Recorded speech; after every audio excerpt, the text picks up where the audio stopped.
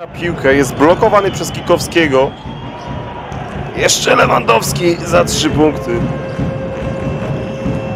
Już pędzi Penawa. Pójdzie, zakończy tę akcję wsadem. Cieszą się kibice białobordowych. Efektowna akcja zawodnika z Bośni i Hercegowiny.